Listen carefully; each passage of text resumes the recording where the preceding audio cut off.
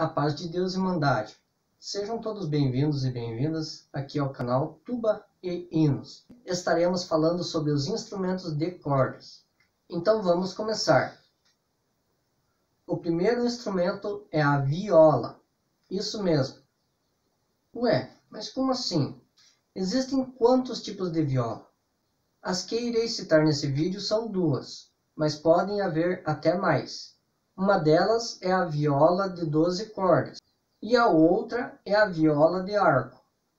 Qual que é a diferença? Uma se parece com o violino e a outra se parece com o violão. Uma é usada com cordas friccionadas, com o mesmo sistema do violino, enquanto a viola de 12 cordas, ou então de 10 cordas, ela é composta por cordas duplas, ou seja, a corda mais grave é afinada uma oitava abaixo da mais aguda.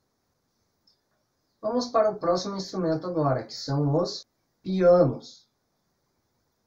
Os pianos, além de serem um instrumento de teclas, são também instrumentos de cordas. São três características dos pianos: corda, teclas e harmônico. Se encaixa nessas três categorias. Agora vamos falar sobre os ukuleles e cavaquinhos. O que, que são? Nada mais é que um instrumento que imita uma miniatura de violão, sendo composto por apenas quatro cordas. A diferença entre o cavaquinho e o ukulele é a afinação com que as cordas são afinadas e também o material de que são feitas. Os ukuleles possuem cordas de nylon, enquanto os cavaquinhos possuem cordas de aço. O próximo instrumento da nossa lista é o violão. Isso mesmo. Existem diversos tipos de violões. Ele é composto por seis cordas, podendo assim haver vários outros tipos de violões. O violão que eu utilizo atualmente é um violão Cutway, de nylon.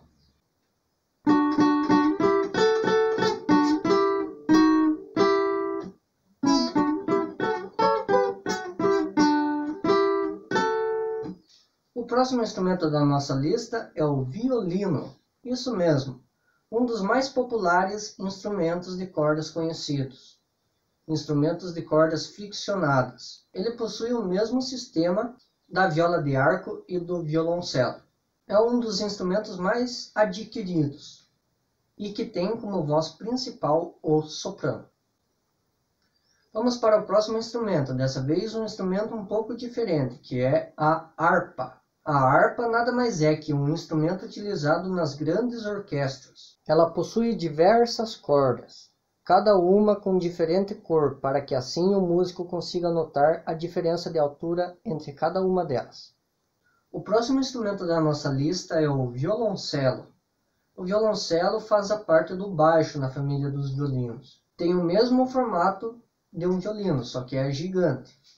Então vamos para o próximo instrumento, que são dois instrumentos, a guitarra e o baixo. Esses instrumentos, eles têm uma particularidade, que são a caixa amplificadora. Ou seja, a maioria das guitarras e dos baixos são elétricos.